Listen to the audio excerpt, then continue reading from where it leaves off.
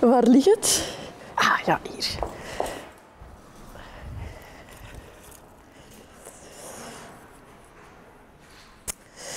Wat vindt u de belangrijkste gebeurtenis of trend van het voorbije jaar?